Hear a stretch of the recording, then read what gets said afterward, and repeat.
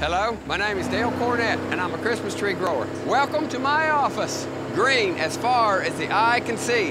Whether you're from California or Alabama, your real Christmas tree comes from a farm just like this. What do I think about artificial trees?